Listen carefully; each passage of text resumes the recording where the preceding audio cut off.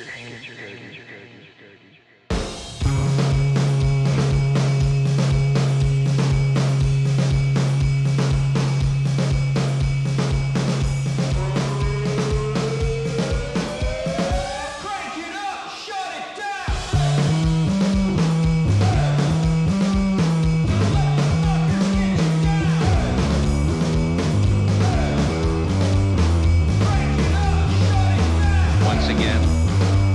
a decision made only after extensive consultations within our coalition partnership.